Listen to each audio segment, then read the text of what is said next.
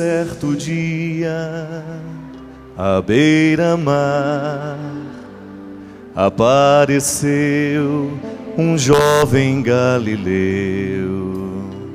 Ninguém podia imaginar que alguém pudesse amar do jeito que ele amava. Seu jeito simples de conversar tocava o coração de quem o escutava. E seu nome era Jesus de Nazaré. Sua fama se espalhou e todos vinham ver o fenômeno de um jovem pregador que tinha tanto amor. Vamos de novo. Um certo dia, à beira-mar, apareceu um jovem galileu. Ninguém podia imaginar que alguém pudesse amar do jeito que ele amava, seu jeito simples de conversar tocava o coração de quem o escutava. Vamos lá. E seu nome era Jesus de Nazaré. Sua fama se espalhou e todos vinham ver fenômeno de um jovem pregador que tinha tanto amor. E seu nome era Jesus de Nazaré. Sua fama se espalhou e todos vinham ver o fenômeno de um jovem pregador que tinha tanto amor.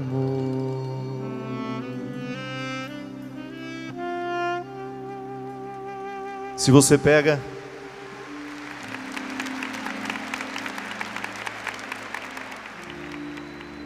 Se você pega os evangelhos, os evangelhos narram os inúmeros encontros de Jesus com as pessoas. Aquilo que o Padre Zezinho, de maneira tão sábia, tão simples, tão poética, nos narra nessa música, que na verdade, se você canta do início ao fim, você vai ver que passa todo o processo de Jesus. Desde o momento em que ele era um pregador desconhecido e aos poucos a sua fama foi crescendo, e as multidões procuravam por ele o tempo todo. Você vai vendo na sensibilidade do poeta, do padre, um jeito bonito de descrever. Por que, que Jesus atraía tanto as pessoas? Por que, que Jesus atraiu você? Você tem ali os personagens famosos do Evangelho, mas eu gostaria de pensar muito mais nos anônimos. Naqueles que não ganharam o registro da Escritura, naquelas pessoas que Jesus encontrou e que fez delas seguidores.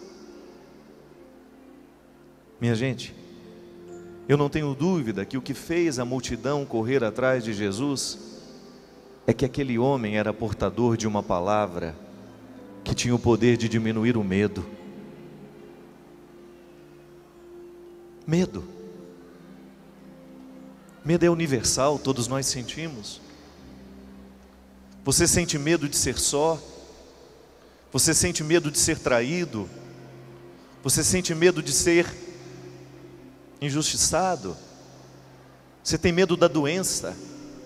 Você tem medo de morrer? Você tem medo de envelhecer? Você tem medo de não ter segurança? E naquele tempo não era diferente. A dor humana que dói hoje, dói há dois mil anos, há três mil anos, há quatro mil anos, desde quando nós existimos, desde quando a, condição humana está presente neste universo, lá está presente a dor, lá está presente o medo. E a presença de Deus na história, desde os primórdios, foi justamente oferecer ao homem, à mulher, foi oferecer à humanidade um braço, alguma coisa que pudesse sustentar no momento do medo. Alguma coisa que pudesse nos dar um alento no momento do nosso desespero, da nossa solidão. Isso não é teórico.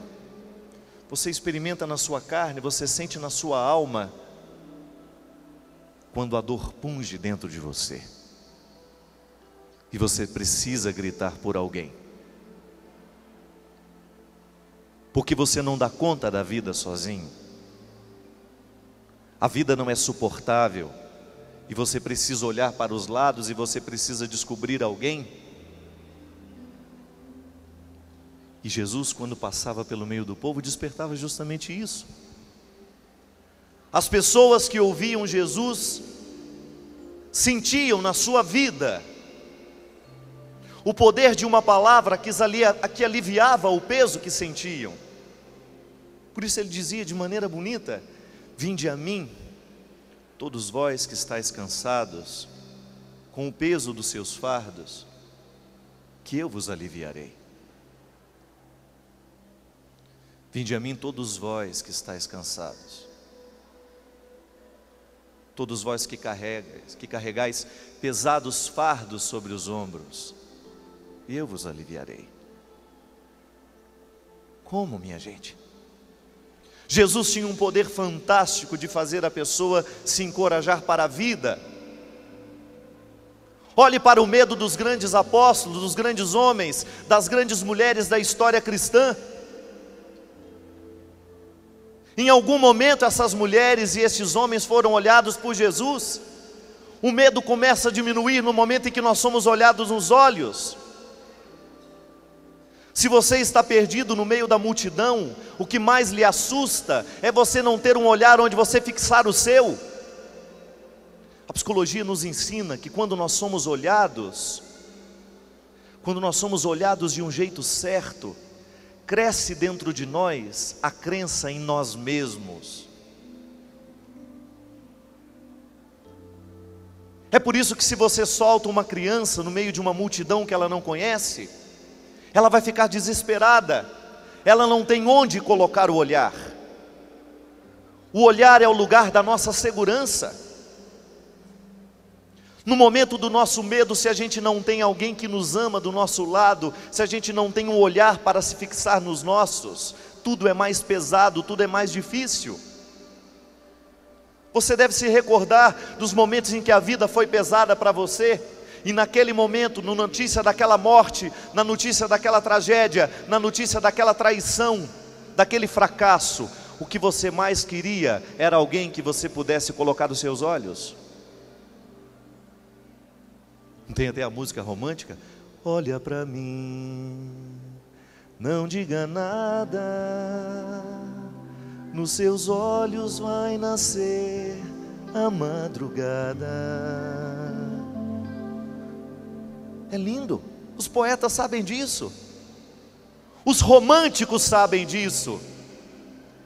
Os amantes sobrevivem muito mais de olhares do que de palavras. Eu posso muito bem dizer a você: Eu te amo. Mas se o meu olhar não confirma a expressão que eu estou dizendo, você não vai acreditar no que eu estou dizendo, não. E era isso que fascinava em Jesus. Não era apenas a força de um discurso teórico, não era apenas a força de um argumento, de um homem que tinha uma boa fala, não era. Mas era a capacidade que aquele homem tinha de diminuir o medo que prevalecia naquele tempo, quando pela força de um olhar ele entrava dentro da pessoa e vivia o mesmo tempo que ela. Ontem eu estava falando isso no show. E eu me iluminei com essa verdade que eu nunca tinha pensado sobre isso. Amar é viver o tempo do outro. Essa frase eu já tinha falado. Mas o desdobramento dela ontem à noite para mim foi lindo, porque foi uma revelação de Deus naquele momento, minha gente. E você vai entender. Eu estava dando o exemplo da minha mãe que está velha, velhinha, está lenta, para morrer de repente está levando um mês, uma belezinha. O velho tem um tempo diferente nosso, por isso que ele conta as mesmas histórias a vida inteira, não é? Ele está num tempo diferente, ele não tem a mesma intensidade de acontecimento que nós temos, por isso ele se repete. Eu ando depressa, minha mãe não. De vez em quando preciso olhar para trás para saber onde ela está. Não vai no mesmo ritmo que eu. E seria ingrato da minha parte querer que ela andasse no meu tempo. Seria ingrato.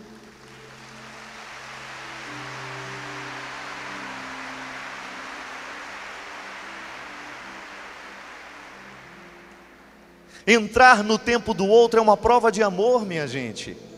Minha mãe é lenta, eu não sou. Eu fico lento por causa dela no momento em que estou com ela. Aquele que tem possibilidade ajuda o mais fraco. Eu entro no tempo dela. E o que Deus me iluminou ontem, no momento em que eu falava, é que o banquete, o jantar, o lugar onde nós nos sentamos para comer, é o lugar onde nós tentamos viver o mesmo tempo, onde todos nós ficamos no mesmo tempo, porque um é mais apressado, o outro é mais lento, o outro é mais ou menos, mas chega um momento da vida em que a gente precisa viver o tempo do outro. A comunhão se estabelece no momento em que vivemos o tempo juntos. Isso é tão lindo. A gente diminui o medo quando nós entramos no tempo do outro. Se de repente você está devagar e você está com medo, alguém segura na sua mão e diz: Não se preocupe, eu vou ficar do seu lado. Aí você fala: Mas você não tem que ir? Ela diz: Eu tenho que ir, mas eu decidi que vou ficar com você. Diminui o medo, entrou no seu tempo viu você como você é, aceitou a sua lentidão, fez pacto com a sua pessoa naquele momento em que não dispensou você, mesmo que ela tivesse tanta coisa para fazer. Me escuta um minuto? É possível? E você tão apressado, tão cheio de coisas, para e escuta o que ela tem a dizer. Olha para mim, não diga nada nos seus olhos vai nascer a madrugada. Por que a madrugada? Porque na madrugada o nosso metabolismo está mais lento. Isso é, quem dorme, né?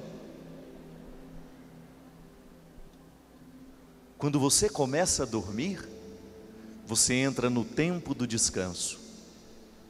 A sabedoria do corpo, minha gente, Aquilo que trabalhou o dia inteiro, que ficou agitado o tempo todo, que comeu o tempo todo, que fez digestão, que fez isso, que fez aquilo, jogou sangue, fez. Lá, lá, lá, o corpo se dá o direito de ficar lento. É madrugada. É o momento em que nós permitimos a nossa recuperação celular, porque o celular está desligado. E tem que desligar mesmo. Porque sempre tem um espírito de porco, alguém que pegou a febre suína, que vai ligar para a gente de madrugada não é?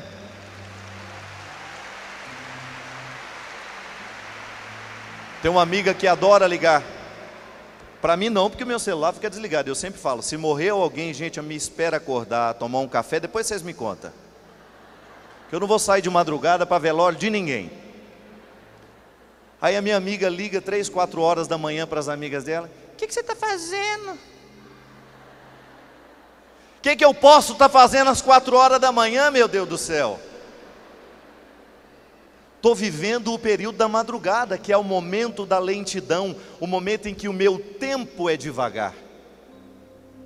Por isso que a medicina nos ensina que o sono é um momento da reposição da saúde, é o momento que você emagrece, É o momento que você volta à saúde. Claro, se você não comeu uma picanha à noite, 3 quilos de macarrão, você vai emagrecer à noite.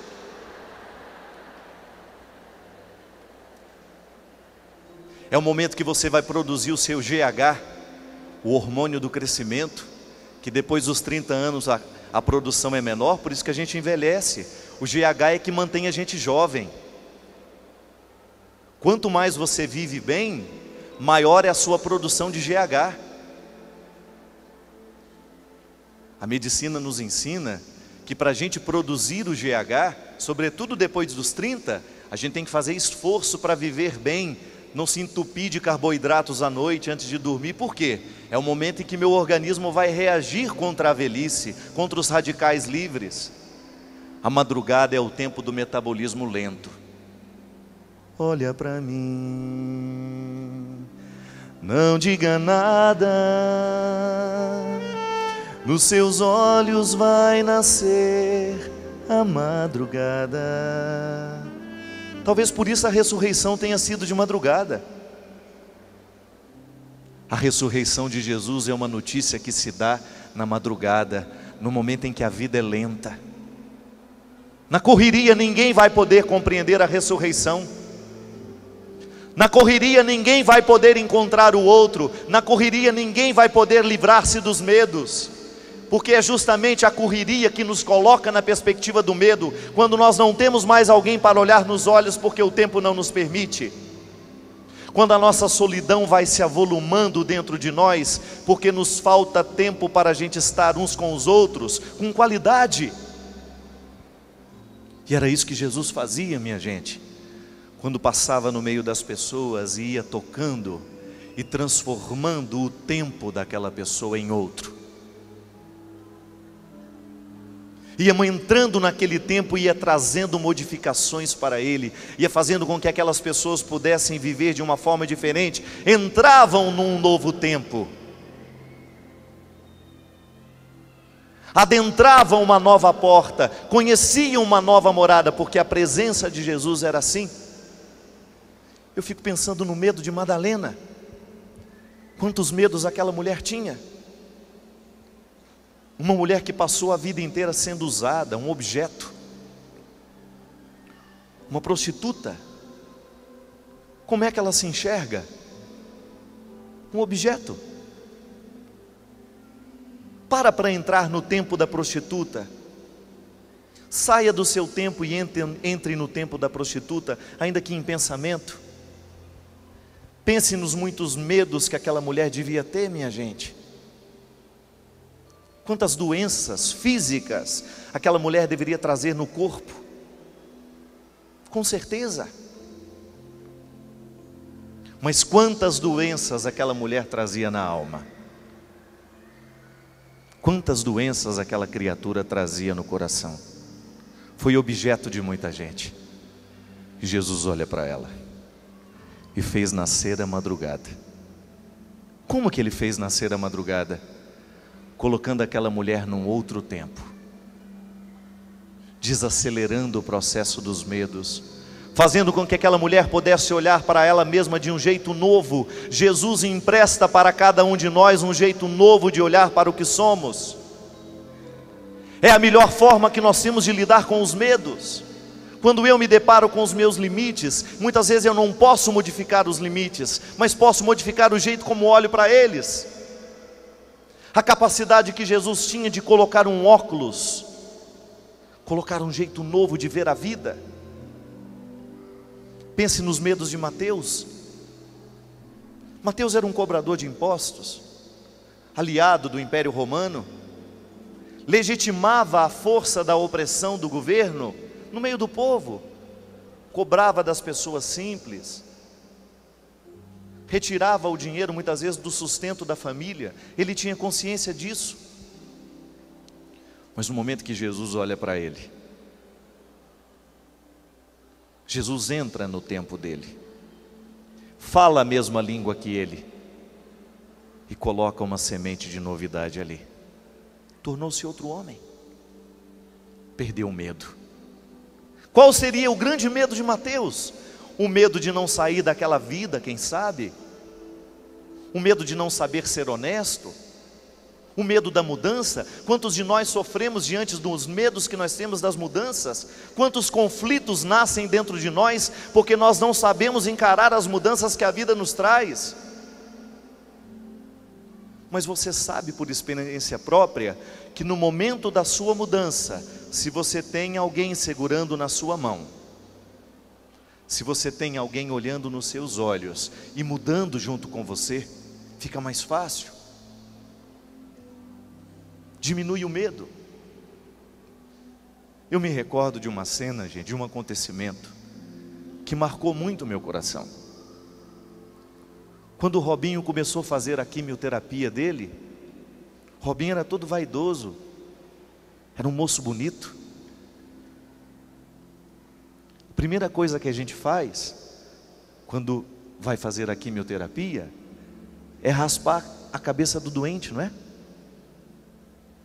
Para que ela não tenha aquele trauma de ver os cabelos caindo. Não sei, diminui o medo, talvez. Quem sabe a gente se coloca numa. Não fui eu que decidi, não foi a química que fez. Subterfúgios pequenos que a gente usa para diminuir o medo do outro. Quem sabe para fazer um gesto que pudesse, olha, vamos aliviar o peso dessa doença. E no dia em que o Robinho ficou careca, mas antes dele ficar, o Denilson, o irmão mais novo, que estava acompanhando todo o processo, foi lá e raspou a cabeça antes dele. Então todo mundo agora vai ficar careca aqui em casa.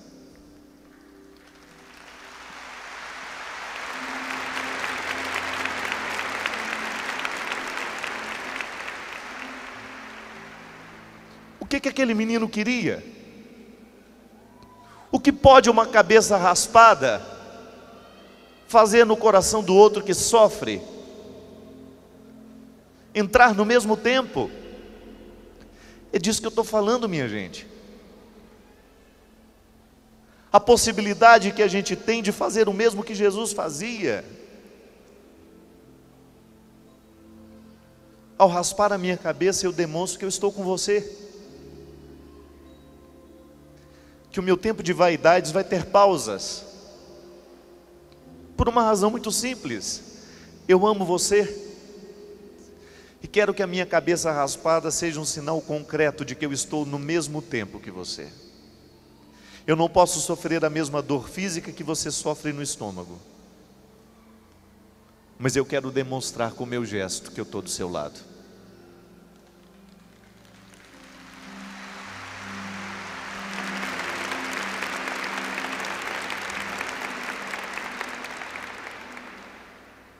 Diminui o medo?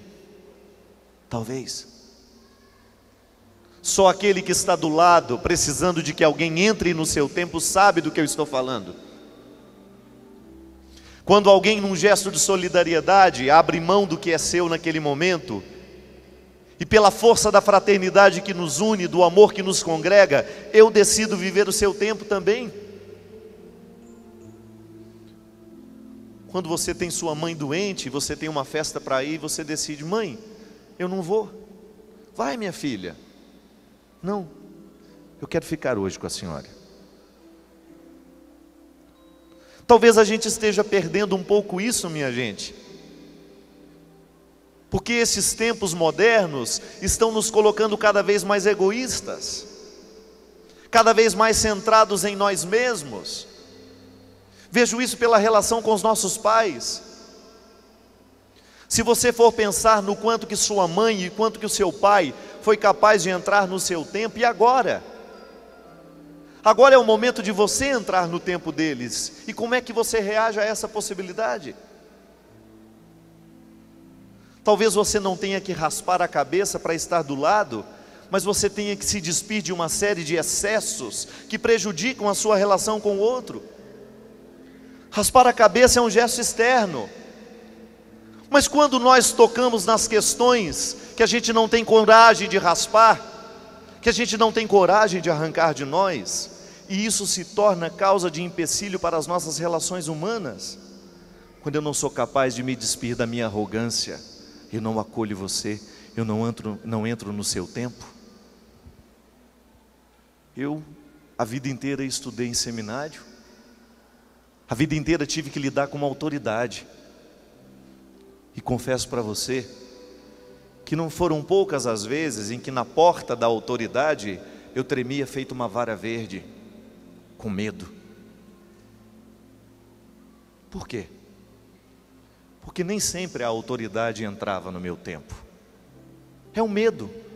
Medo de não ser reconhecido, medo de não ser compreendido. Quando você está diante de alguém que tem o poder de tomar decisões sobre a sua vida e você tem medo que aquela decisão não seja tomada considerando aquilo que você é, o medo que você sente, as dores que você tem, os limites que você possui. Mas eu também posso testemunhar que não foram poucas as vezes que Deus me deu a oportunidade de ter superiores em que eu entrava feliz em suas salas, em que eu não tinha medo algum porque eu sabia que Ele era capaz de entrar no meu tempo. Minha vida, uma vez, Deus me deu a graça de ter um padre chamado Padre Herculano Vaz. Laninho. Um dos meus superiores no tempo da filosofia. Um homem que me apresentou Jesus assim. Porque ele é assim. Entra no meu tempo. Me olha com todas as minhas misérias, mesmo sendo ele um homem santo. Tão pronto tão cheio de virtudes. Quantas vezes eu chorei na presença daquele homem sem medo de mostrar quem eu era? E chorar ao lado, de frente, de alguém que nos ama, minha gente, é choro de ressurreição, porque lava a alma da gente. Lava a alma da gente.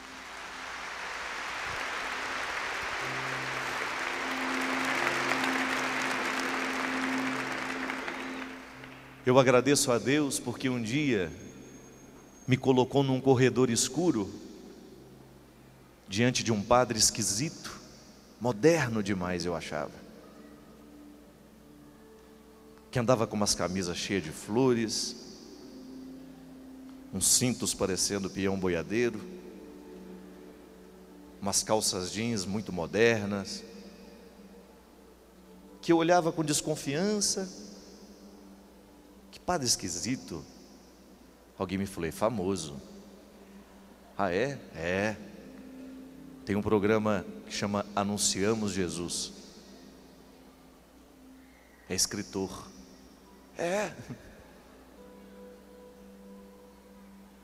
Mas o dia que eu descobri que aquele homem de camisas coloridas, calças esquisitas, tinha o coração igualzinho de Jesus.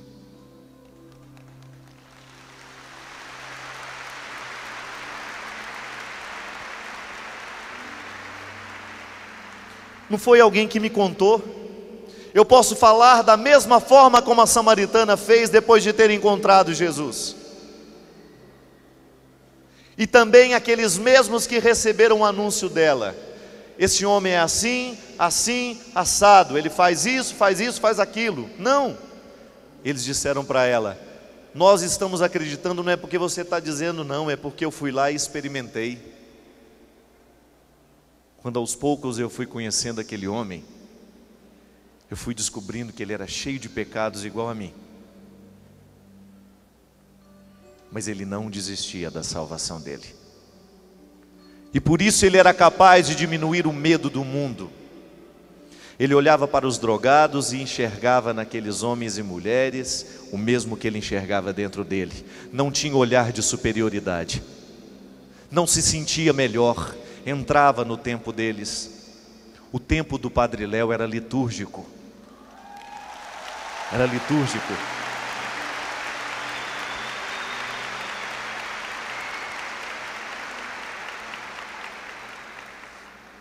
Quantas vezes aquele homem, gente, pôs a mão na minha cabeça e me deitou no seu colo, como se eu fosse um menino.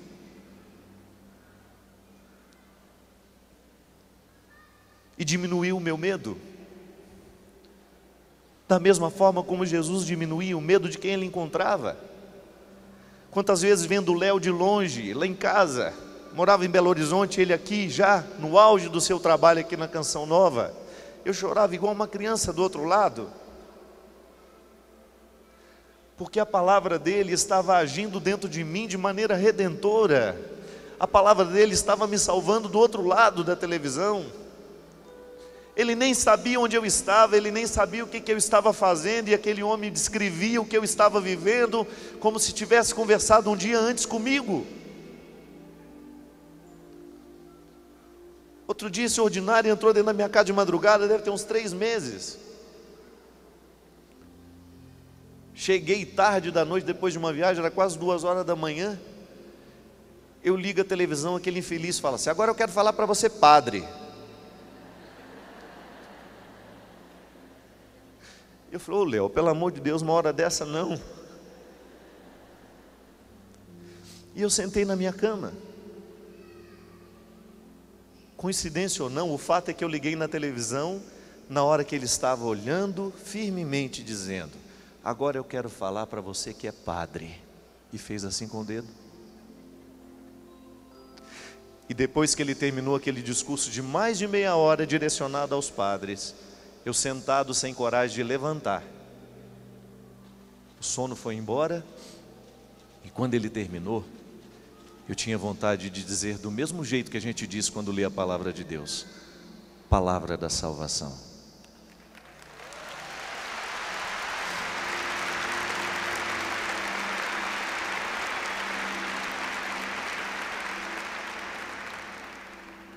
Porque a palavra, quando ela está conectada na palavra de Jesus, minha gente, ela não tem outro destino dentro de nós senão nos libertar. Não tenha dúvida disso, a palavra de Jesus, ela nos liberta, ela abre os nossos cativeiros, ela nos melhora. É por isso que nós precisamos correr atrás deste Deus, é preciso, é por isso que nós precisamos revestir a nossa vida de mística, é por isso que nós precisamos ter contato o tempo todo com sua palavra, com sua celebração, com sua oração, com aquilo que nos conecta a ele, com a música que nos fala dele, com a palavra que nos recorda o que ele disse, com os encontros que nos recordam o que ele disse, na celebração aí da sua paróquia, naquilo que o seu padre pode dizer para lhe recordar o que Jesus diz que tem o poder de diminuir os medos que nós sentimos. Quantas vezes na minha vida eu tive a oportunidade de experimentar Jesus do meu lado assim de maneira concreta, naquilo que o Léo me falava. Meu filho, não é bem assim. Olhe por outro lado. Quantas vezes o nosso medo vai embora quando alguém diz isso para a gente? Olhe de outra forma. É como se abrisse uma porta do casarão assombrado em que nós estamos e nos ensinasse que tem uma saída possível.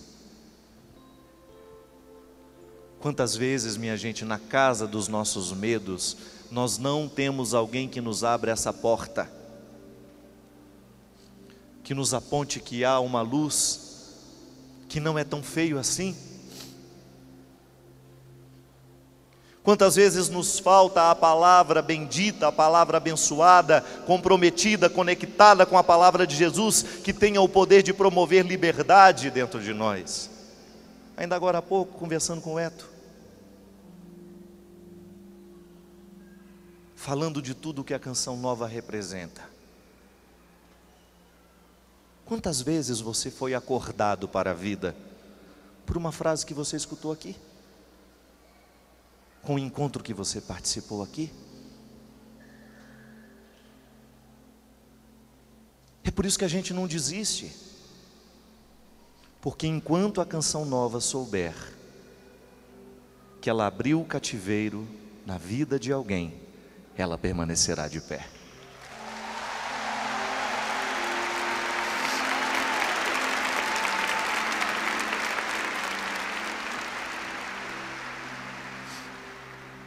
Outro dia me perguntaram, padre, é verdade que a Rede Globo proibiu o senhor de ir na canção nova?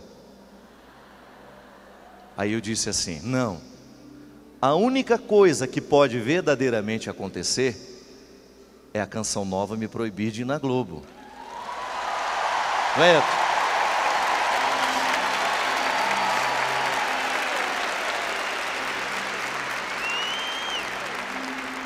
Porque enquanto nós estivermos com os mesmos objetivos, nós estaremos lá também, abrindo as portas para que esta palavra seja dita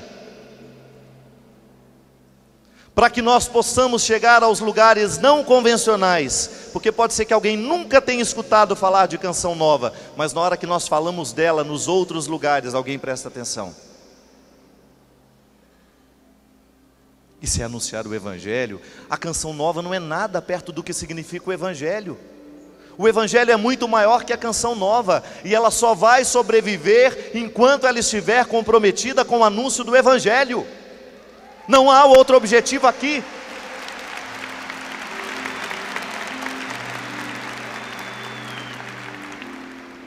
E os membros dessa comunidade sabem que tudo virá por terra o dia em que eles se desprenderem da missão verdadeira, que é anunciar o Cristo vivo e ressuscitado. É Jesus que disse isso. No momento em que ele fez a revolta dentro do templo, e disse que o templo tem que ter um significado primeiro, o serviço do Senhor, outra coisa não. E por isso que nós precisamos lutar para que a palavra de Deus tenha poder na nossa vida, minha gente, porque somente a partir dela nós vamos conseguir lidar com os medos que a gente sente. Não é fuga. Eu não me sinto um alienado em, absoluta, em absolutamente nada. Deus para mim não é fuga. Não fui eu que inventei essa história, mas eu estou tocado pela força de um Deus que me renova, que me retira do medo cada vez que eu me recordo da palavra que ele disse. Cada vez que eu me recordo do que ele disse, do que ele falou, do que ele fez. Se fez lá, pode fazer em mim também. Se Jesus fez naquele tempo, pode fazer em você hoje também.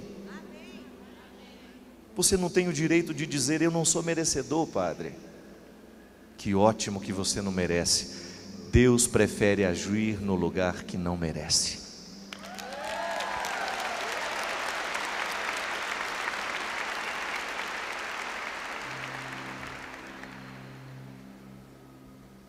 Se você não se sente merecedor, é um bom passo.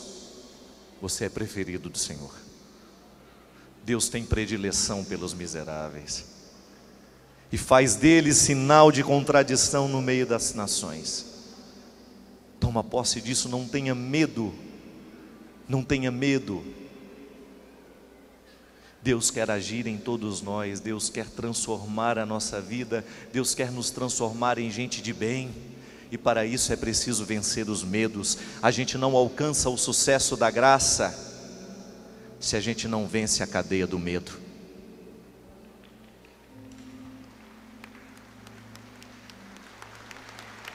Para que cultivar os fracassos? Para que cultivar fracassos? Legitimar a presença do diabo? Eu não quero.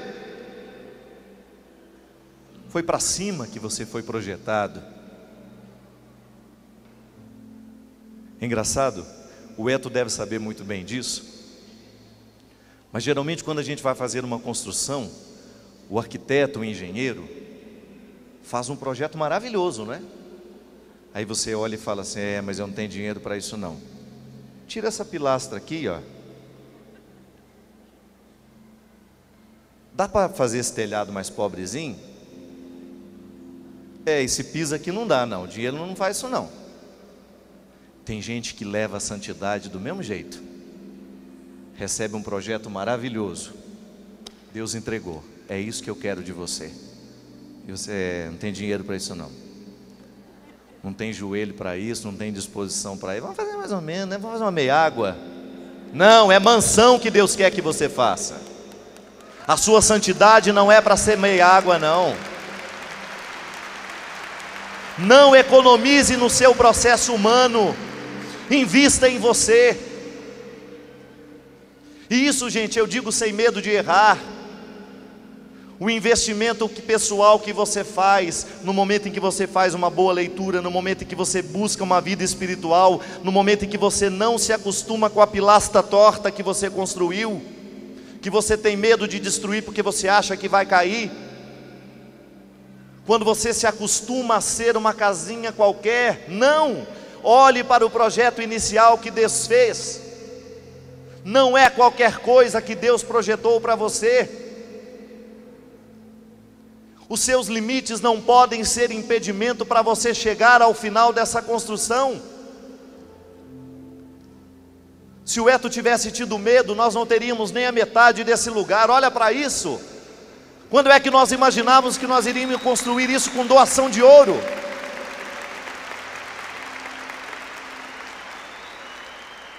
Ainda bem que você não tem juízo. Louco.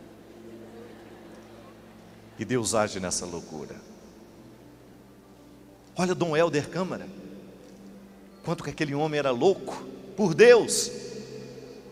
Olha para os grandes místicos, todos loucos por Deus. Não pensavam pequeno. A alma, a humildade precisa nos fazer pequenos, mas nós não podemos ser pequenos diante de Deus. O que Deus nos propõe é grande.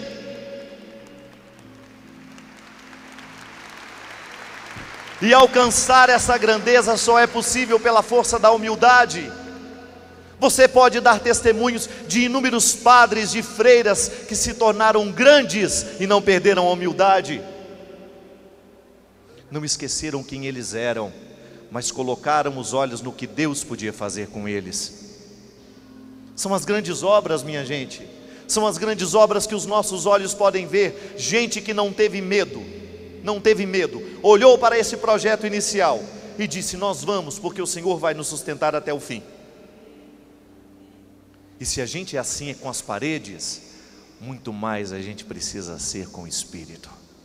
Eu não quero ser pequeno.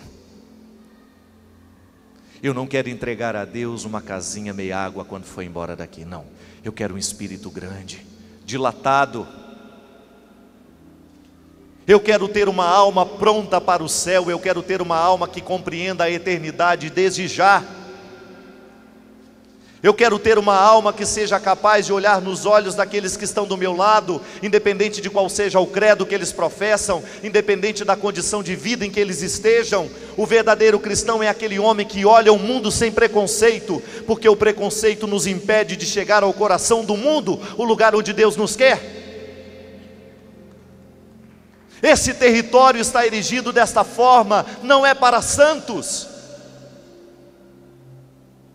A canção nova não foi construída para trazer santos aqui dentro, não. A canção nova foi construída para trazer gente que aceitou o processo da reforma espiritual. E por isso será sempre bem-vindo.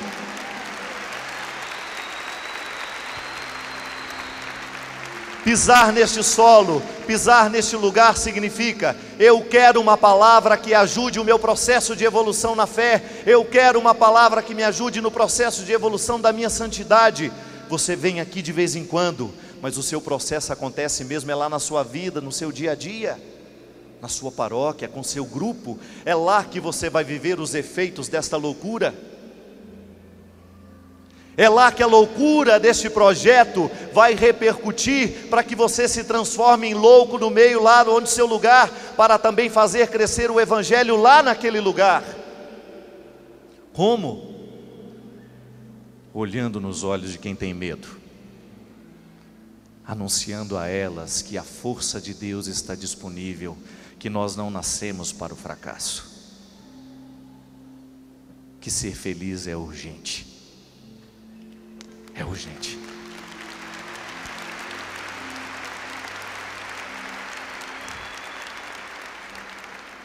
Olha para a planta inicial, olha para o projeto inicial. O momento em que Deus colocou sobre as suas mãos a fotografia do que Ele quer que você seja. E pode ter certeza que na preguiça você não chega lá. É preciso empenho, minha gente.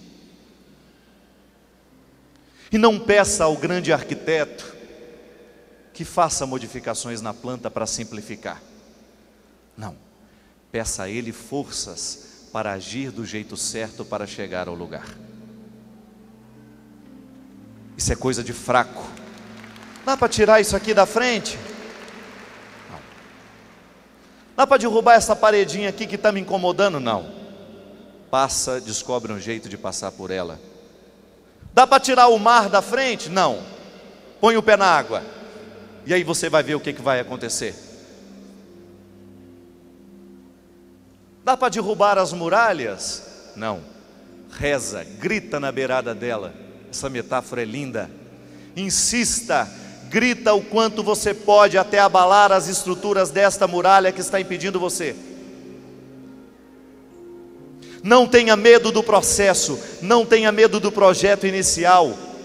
Corra atrás dele Corra atrás daquilo que é santo nessa vida, corra atrás daquilo que é honesto, daquilo que é puro, e você não vai ter outro destino senão tornar-se puro também, purificar aos poucos a sua vida, o seu coração destes excessos que lhe enchem de medo.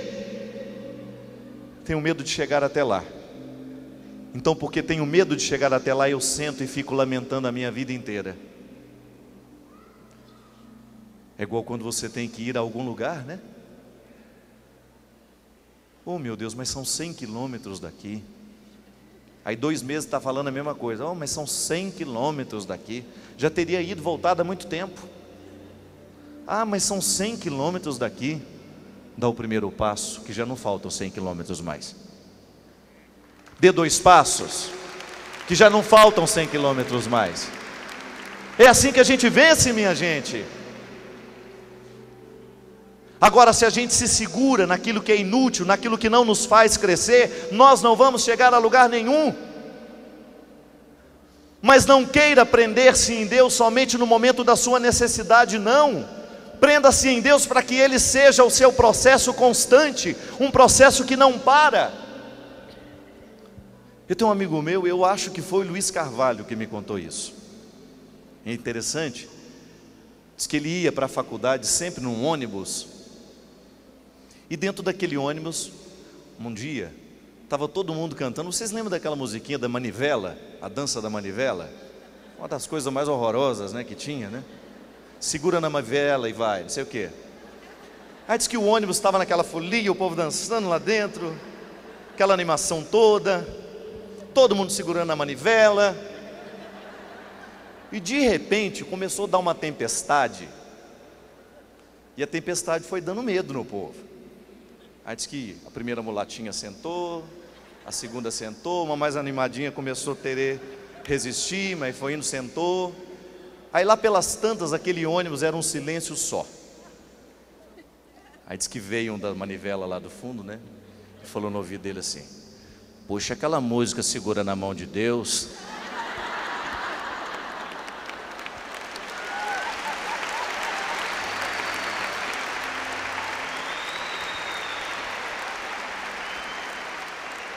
Mas aí, o meu amigo, na sua sabedoria, falou: Não, segura na manivela.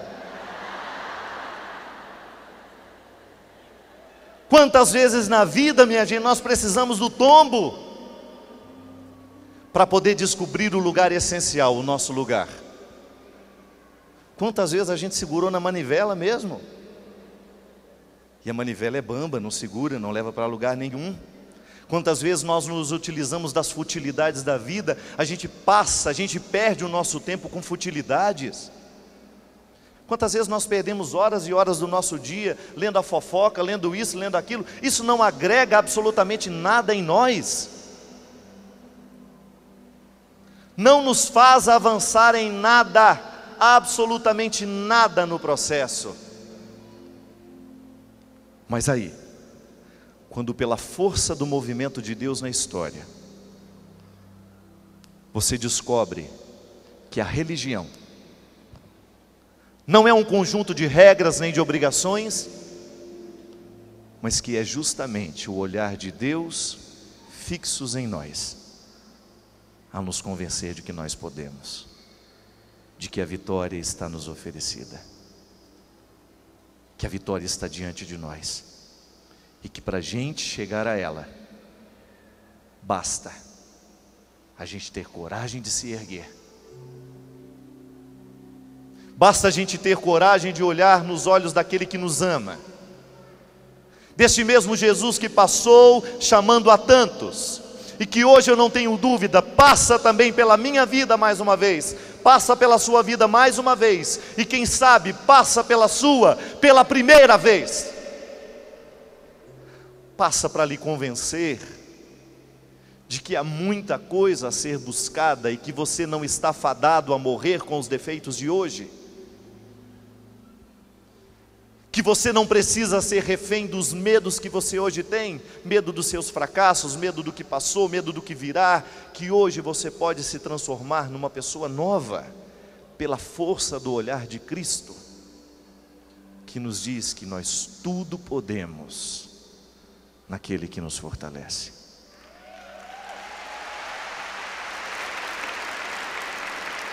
Que nós tudo podemos realizar se os nossos olhos estiverem fitos no Senhor. Que a força do Deus ressuscitado entra para dentro de nós, que nós não precisamos viver como condenados à morte, que nós não precisamos ser reféns dos nossos medos, mas que nós podemos viver pela força do dia de hoje, da palavra que nos move, aquilo que essa menina um dia compôs com tanta sabedoria.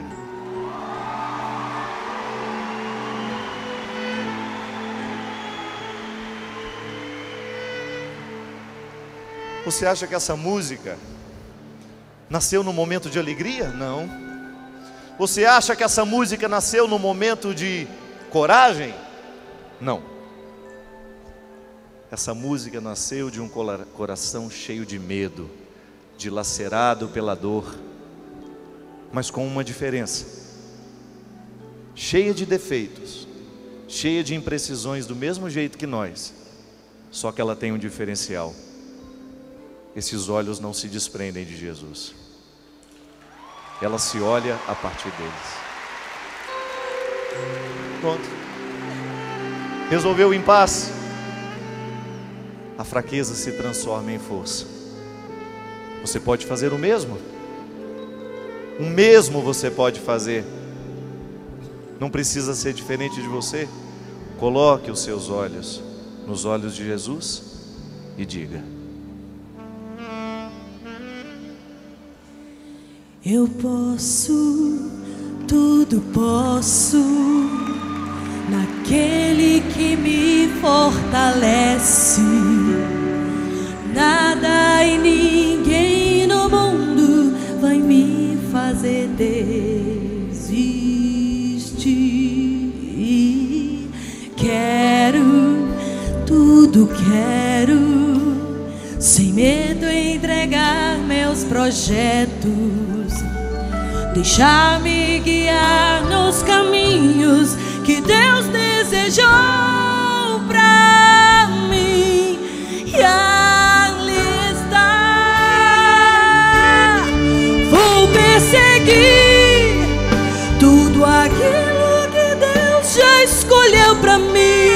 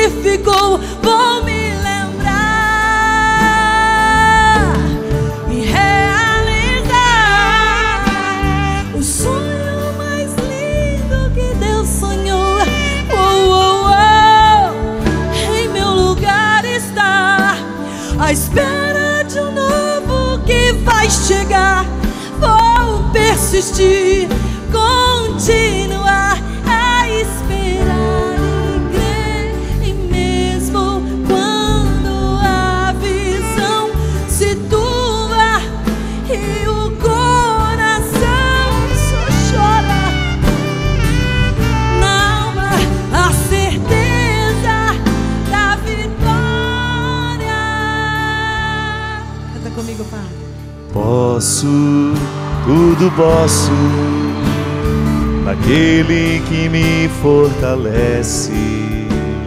Nada e ninguém no mundo vai me fazer desistir. Vou perseguir tudo aquilo que Deus já escolheu para mim. Vou persistir mesmo nas marcas daquela dor, do que ficou, vou me lembrar, realizar o sonho mais lindo que Canção Deus um sonhou. sonho. Betânia é um sonho. Em meu lugar está a espera de um novo que vai chegar. Vou persistir, continuar a esperar e crer,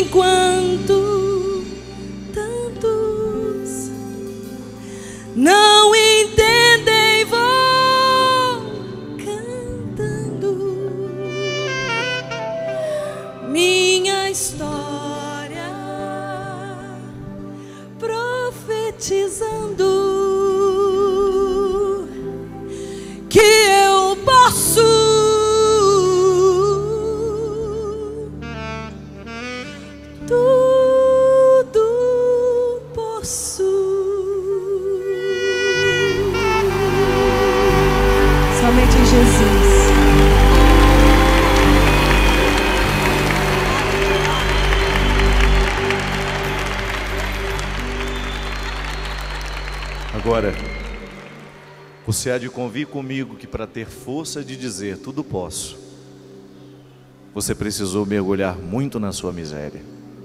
Diga por você. A expressão tudo posso não nasce de qualquer jeito. Porque se ela nasce de qualquer jeito, ela vai morrer de qualquer jeito também.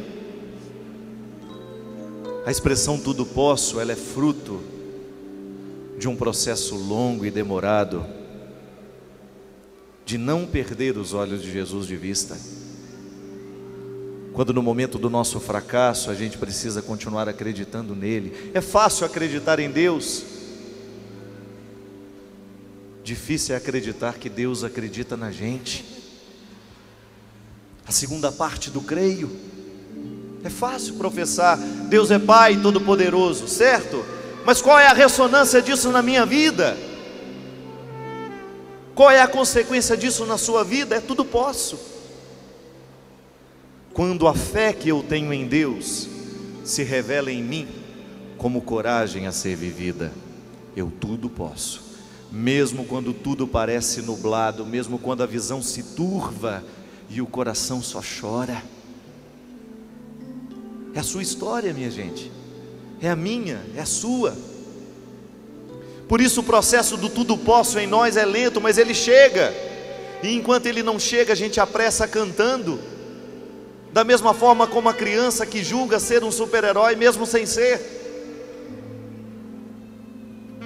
Mas se ela vai sendo educada para a coragem, ela vai ganhando poderes maravilhosos. Ela vai se transformando num ser humano memorável. Quando os pais ajudam a equilibrar o sonho e a realidade. Meu filho, você não pode ser um super-homem, mas você pode ser um homem super. Você não pode, você não pode ser uma mulher maravilha, mas pode ser uma maravilha de mulher.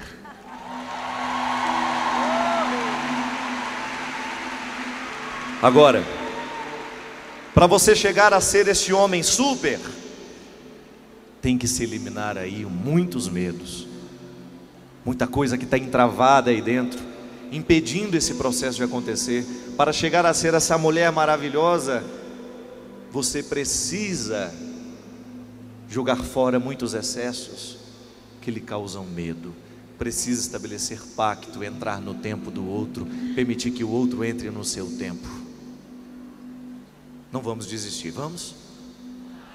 Tem alguém querendo desistir aqui hoje? Então levante os braços comigo. Canta forte. Vou perseguir tudo aquilo que Deus já escolheu para mim. Vou persistir E mesmo nas marcas daquela dor, do que ficou, vou me lembrar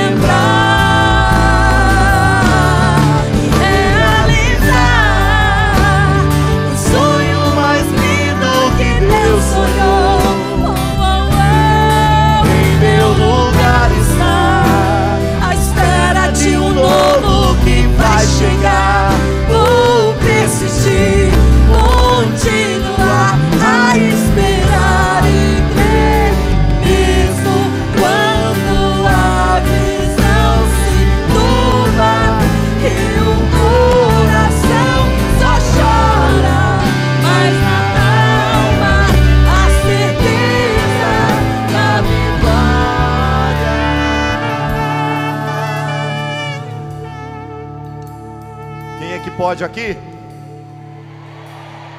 Naquele que lhe fortalece. Peça a Deus essa força agora. Estenda os braços e peça para que Deus lhe dê coragem de acreditar nisso. Sim, Senhor, nós clamamos o poder dos céus, a força do Teu Espírito Santo Consolador. Derrame sobre este povo, Senhor, a coragem que caracterizou os grandes profetas, os grandes homens e mulheres de Deus, que revestidos pela força do seu amor e da sua misericórdia, puderam experimentar na carne e na alma a coragem de dizer que eles tudo podiam naquele que os fortalecia. E tiveram coragem de viver a loucura dos grandes projetos, sem desprenderem os seus pés da humildade que caracterizou o serviço do Senhor.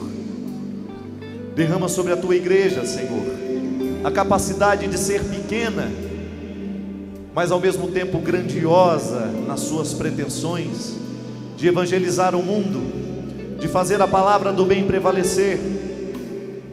Derrama o teu sangue precioso sobre a canção nova, sobre os seus fundadores, Senhor, sobre a figura do nosso querido Monsenhor Jonas Abib. Confirme-o na força desta missão, Senhor.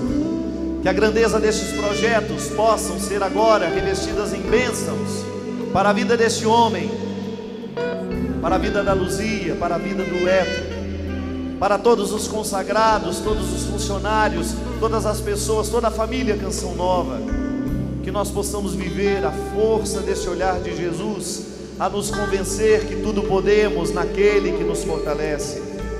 Derrama sobre o povo aqui hoje reunido, Senhor. O Senhor que é capaz de enxergar o coração de cada um, de saber as necessidades particulares, quais são os medos que enfrentam. Coloca coragem, Senhor. Nos infiéis, coloca coragem de vencer os grilhões da traição. Nos viciados, coloca a força e a coragem de vencer os grilhões do vício. Nos mentirosos, a coragem e a força para fazer cair por terra o poder da mentira.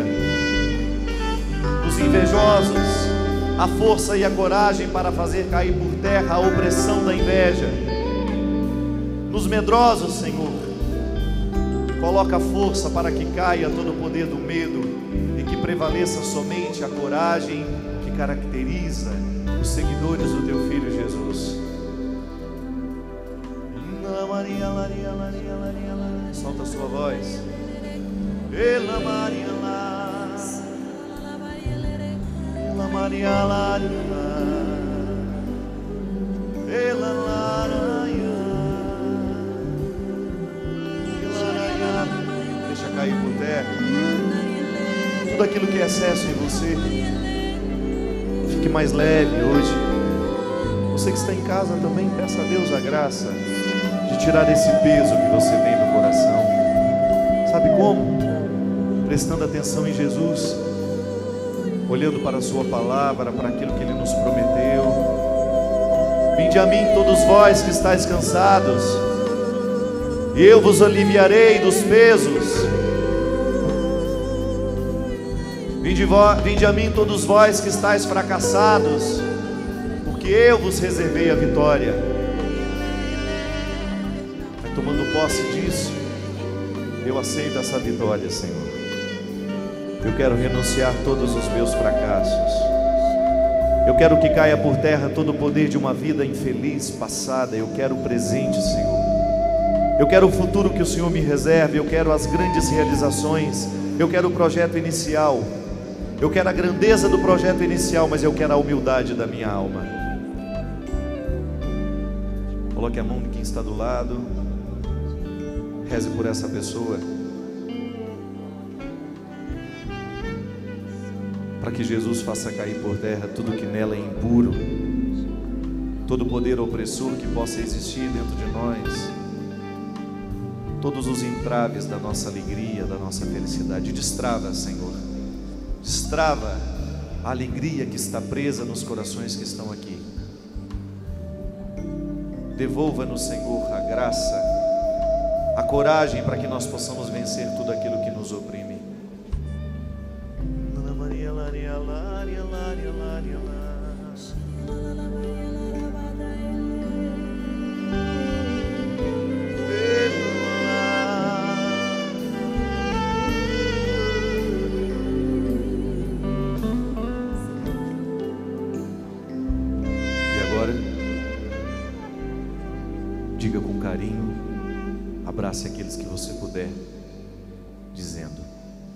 Você tudo pode naquele que lhe fortalece.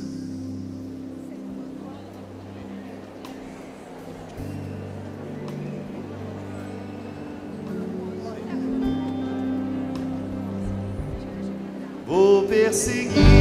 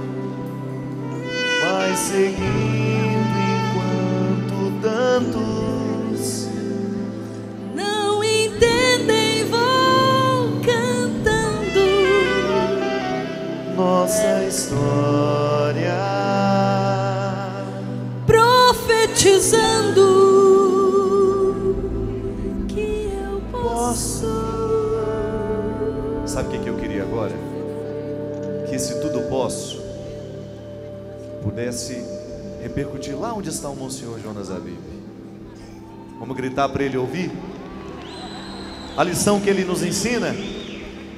Vamos? Que eu posso, mas é para ensurdecer esse lugar agora. Tudo Mais